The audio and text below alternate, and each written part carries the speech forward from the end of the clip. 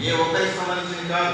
అన్ని కులాల వరకు అన్ని మతాల వరకు అన్ని సామాజిక ఉద్యమ కలపడం కూడా ఈ నీళ్ళ ఈ ఏర్పాటు చేయడానికి కారణం ప్రధానమైన సమస్య దీనిలో సంబంధించిన అంశాల మీద ఎన్నో పోరాటాలు చేసి గతంలో హైదరాబాద్లో కార్పొరేట్ వ్యవస్థల మీద నాయన చైతన్య అదేవిధంగా గుంటూరు వికాస్ నాయుడు కాలేజీల మీద అనేక పోరాటాలు చేసి అనధికారంలో ఒక నీళ్ళ శక్తి ఒక లక్ష సైన్యాన్ని తయారు చేయడానికి పుట్టినటువంటి శక్తి నీళ్ళ శక్తి చెప్పాలంటే వాస్తవంగా రెండు వేల పద్నాలుగులో తెలంగాణ రాష్ట్రం వచ్చిన తర్వాత మనకున్నటువంటి పదమూడు షెడ్యూల్లో వాస్తవంగా చెప్పాలంటే గిరిజనులకు పక్క ఈ రాష్ట్రంలో గీత యూనివర్సిటీని ఏర్పాటు చేయాలి తప్పనిసరి కేంద్ర ప్రభుత్వం యొక్క బాధ్యత దీని మీద ఖచ్చితంగా చిత్తశుద్ధితో ఒక యూనివర్సిటీ ఏర్పాటు చేయాలని ఆ రోజు మనం ఆ అంశాన్ని నువ్వా నేనా మనం అందరం కలిసి చేస్తే వచ్చేది కాదు.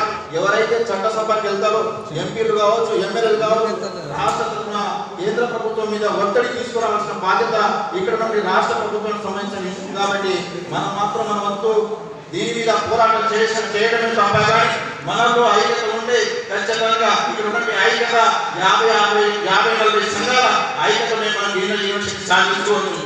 ఈ యూనివర్సిటీ సాధించడానికి ప్రధానంగా మనతో పాటు ఈ రాష్ట్రంలో ఉన్నటువంటి గిరిజన సంఘాలతో పాటు ఇతర సంఘాలను కలుపుకొని పోతే ఖచ్చితంగా మనం ఈ గిరిజన సాధించవచ్చు. మనం ఎన్నో రకాలుగా పుస్తకాలు చదవచ్చు రకరకాల పుస్తకాలు. కానీ మనిషి యొక్క మనస్తత్వం మనస్తత్వం కలిస్తే ఖచ్చితంగా ఏ విషయమైనా ఈ రాష్ట్రంలో మనం ఏ విషయం ఏ కులానికి సంబంధించిన ఏ విషయంలో సాధించుకోవచ్చు. ఖచ్చితంగా రాబోయే రోజుల్లో ఆరు సంవత్సరాలు పూర్తయింది రాష్ట్రం వచ్చి ఈ ఆరు ఆరు సంవత్సరాల్లో ఈ రాష్ట్రంలో గిరిజనులు ఏ మాత్రం న్యాయం జరిగేదని కూడా నేను మీకు తెలియజేస్తున్నాను.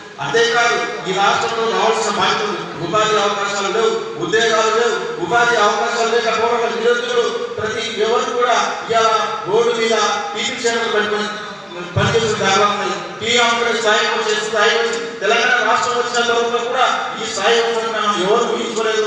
ఇలా మళ్ళీ ఉద్యోగం చేస్తామని కూడా మనం ఊహించుకోలేదు కాబట్టి ఖచ్చితంగా తెలంగాణలో గిరిజన యూనివర్సిటీ పక్కా ఏర్పాటు చేయాలి. ప్రతి ఒక్కరు కృషి ఉండాలి. కృషి ఉంటే సాధించేది ఏది ఉందని మనకు తెలిసిన విషయం కాబట్టి మీరందరికీ నేను మనం చేస్తున్నాం మన ఐక్యత వెళ్దాం మన ముందు పోరాటం. దీని మీద ఖచ్చితంగా రాష్ట్ర ప్రభుత్వం ఒత్తిడి తీసుకోవాల్సిన బాధ్యత అవసరం ఉంది. అవసరం ఉంటే కేసీఆర్ గారు దీని సెంటర్లో లో దగ్గర కూర్చొని దీని యూనివర్సిటీ పక్కగా ఇవ్వాలని చేస్తుంటూ ధర్నా చేసే రాష్ట్రం నుంచి ఖచ్చితంగా యూనివర్సిటీ తరఫున ఒక లక్ష మంది విద్యార్థి తీసుకెళ్ళి అక్కడ ధర్నా చేయించినాయా? మేము విద్యా యూనివర్సిటీ సాధించే స్థాయిలో ఖచ్చితంగా చేస్తూ ఈ అవకాశం Education